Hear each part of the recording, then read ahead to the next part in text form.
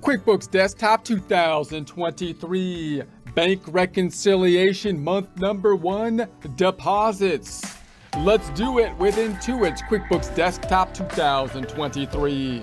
Support accounting instruction by clicking the link below, giving you a free month membership to all of the content on our website, broken out by category, further broken out by course. Each course then organized in a logical, reasonable fashion, making it much more easy to find what you need than can be done on a YouTube page. We also include added resources such as Excel practice problems, PDF files, and more like QuickBooks backup files when applicable. So once again, click the link below for a free month membership to our website and all the content on it.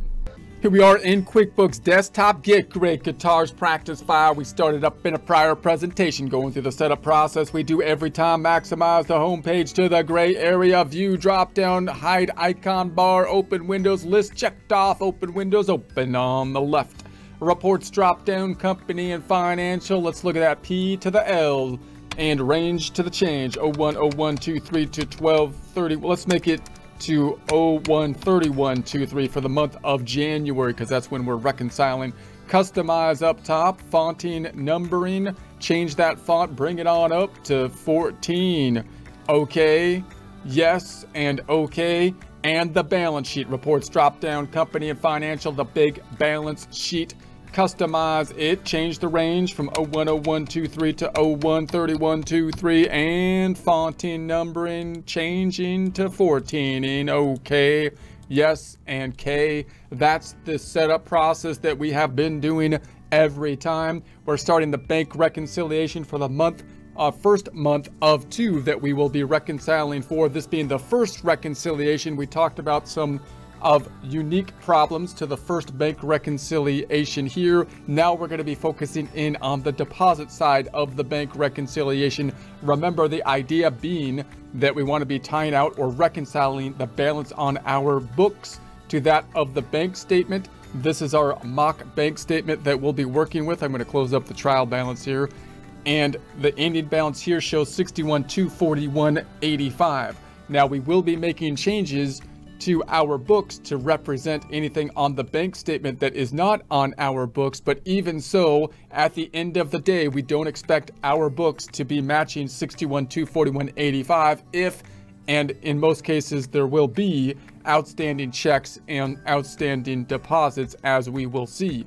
So let's go back on over to QuickBooks, go back into the bank reconciliation. I'm going to go to the banking drop down to do so, go into the reconcile, and here's our uh, opening up windows. You got the checking account. It's going to be as of 131.23. We have no beginning balance. That's an issue. That's a problem we talked about last time, but it's okay. We're going to move forward with it and we'll deal with that as we go. Then we got the ending balance 61.241.85 matching out what is on our bank statement. That looks good. I'm not going to enter service charges or interest because I don't like to do it there because it confuses things, I believe.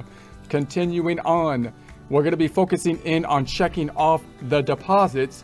Now, we already checked off the 25,000, which in essence is representing our beginning balance. That's the first bank rec kind of issue problem in that the beginning balance could have a little bit of an issue with it that we're going to have to deal with as we go.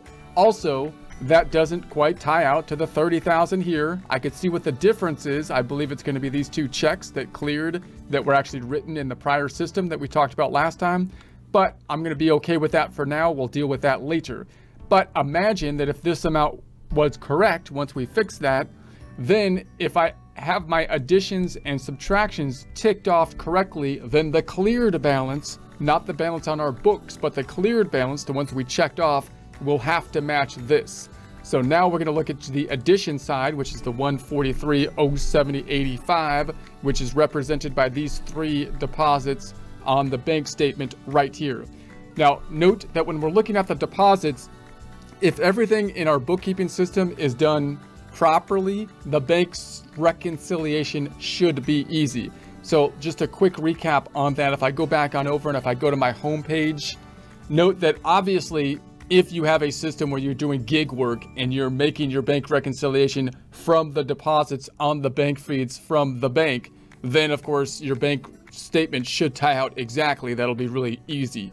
But in the event that you have like cash sales at a register situation or you have a full service uh, accrual system, then you might have credit cards, for example, you're getting payments from, and you might have cash that you're getting payments from. And in those cases, we talked about the idea that you're going to have to bundle them together and deposit them into our cash account within the books in the same bundling, the same grouping as would be shown on the bank statement. If you don't do that, then when you do the reconciliation process, you're going to have to be adding together multiple deposits in our book to match one deposit on the bank statement. For example, if I had multiple sales that I made on the sales receipt and I deposited them individually into the checking account, but when I physically made the cash deposit into the bank, I deposited them in one lump sum, then on the bank statement, it's going to be a lump sum. In our books, it's going to be a bunch of individual deposits. That causes a problem. That makes the reconciliation difficult. How do we fix that? We use undeposited funds, and then we make sure that when we deposit in our system, it matches the same grouping on the reconciliation so we can reconcile. Same problem when you talk to credit cards or have credit card transactions which can be a little difficult because sometimes the credit card companies are going to have some random grouping on how they group stuff and deposit it in your bank account as one lump sum. You got to work with the credit card companies so that you can have your system mirror what the credit card company is doing, making the bank reconciliation as easy as possible. It might take a little bit of, of, of negotiation there or, or research on that. So if that is the case, then it should be nice and easy. We're just going to tick and tie these off. So for example, also just realize that you always want to be going from the bank statement to the to the books. Obviously, you can go back and forth, but the reason you want to think about it as I'm looking at the bank statement and then the books is because if it's on the bank statement, it must be on our books unless the bank is wrong or unless we haven't included it, in which case we have to fix our books. If it's on our books, but not on the bank statement, that doesn't necessarily mean that something is wrong. That might just mean that there's an outstanding item. So if we're going from here to here, from, from the bank statement to the books, we should always be able to find what we're looking for. Whereas if we went the other way, we would expect sometimes we might not find what we're looking for. So that's going to be that. Also, just a quick note on what you would expect to see when you see a deposit side of things. The deposits, of course, represent increases to the bank account. If these were deposits of cash or something like that, or even if they were checks, then sometimes you don't have that check detail unless you go in and look at the canceled check. So all you're going to have on the deposit side then is the amount and the date in those cases, which usually is sufficient because you can you can tie those amounts out. They're, they're, they're usually deposits aren't as numerous as say the outflows. The outflows usually have more transactions but less dollar amount. Hopefully, right? Hopefully the deposits are higher in dollar amount, but usually they're less in number of transactions. However, if you use bank feeds, so if you're if if you're uh, using electronic transfer data, then of course you're going to have more data. Typically, you'll have the date that deposit happened as well as the as the uh, electronic memo or the bank memo, which could give you some valuable information. So that's what's kind of nice about electronic transfers. On the decrease side, if you write physical checks, then you'll have the check number and you'll have the date. The date will not be as relevant because it'll take time for the check to clear. The date will be further difference. There'll be a gap between when we wrote the check and when it cleared, whereas an electronic deposit or even a normal deposit should clear quite quickly. But if you wrote a check, then you got the check number, which helps you to kind of verify the checks. And again, if there were electronic transfers, you would have the, the, the bank memo. All right, given that, we got the 65,000. Let's do some ticking. Let's do some tying. We're going to go back on over here and say, and I'm going to hide everything that's past January. So that cleans it up a bit. I ticked off the 25,000. I'm going to tick off the 65,000. Boom, found it. The date on 1-1 so that should be pretty close to the date that's over here on 1-3. The date in our books will always be before, same day or before what hits on the bank because the bank information is going to lag. They don't know about it for a little bit longer. And then we've got the 50,000 here. So we've got the 50,000, 50,000, uh, 1 1. So hopefully my dates are in 1 5. So that seems reasonable on the dates. So then I could say, okay, let's go ahead and mark that off. And then we've got, what else do we've got? We've got uh, 7570. So 7570, boom, back on over, bam, and check it off. And then the 20,500 and we'll say, there it is, 20,005, boom, bam. And now I found everything that's on the deposits. These four deposits add up to that amount, which is this amount up here.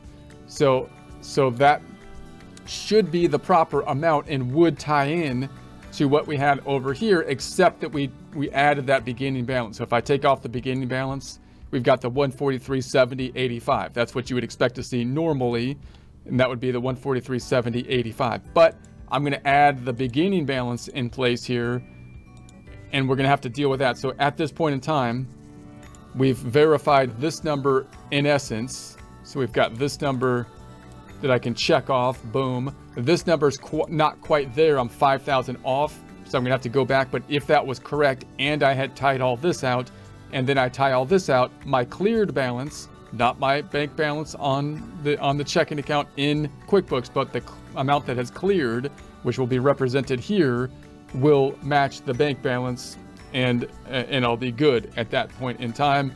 And then anything that's unchecked off will be represented as outstanding on the bank reconciliation.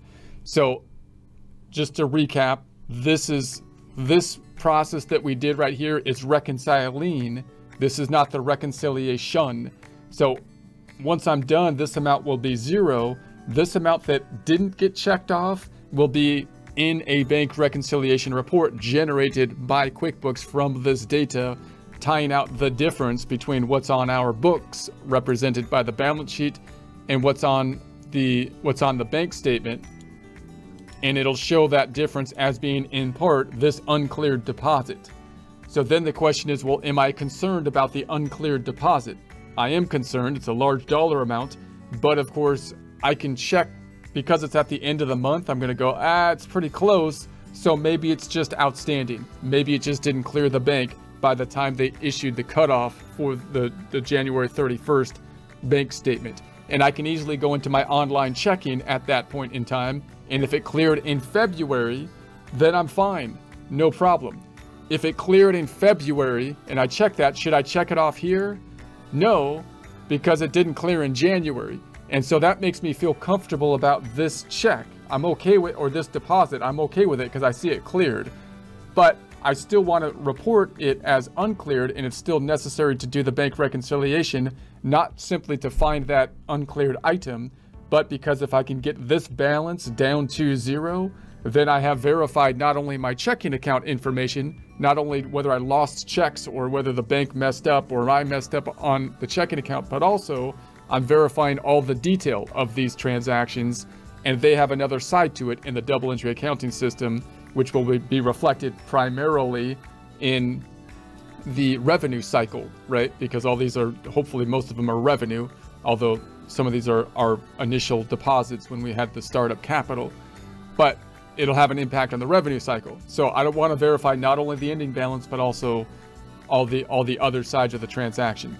So there's what we have now. Next time we'll go in and we'll do the same process on uh, the checks side of things. Notice that you can leave and go ahead and leave without uh, without messing anything up. You don't have to complete the whole process at once. So we're gonna leave. We're gonna have some coffee. We're gonna come back and we're gonna do some uh, the, the, the other side, the, the, the decreases. No change to the financial statements thus far.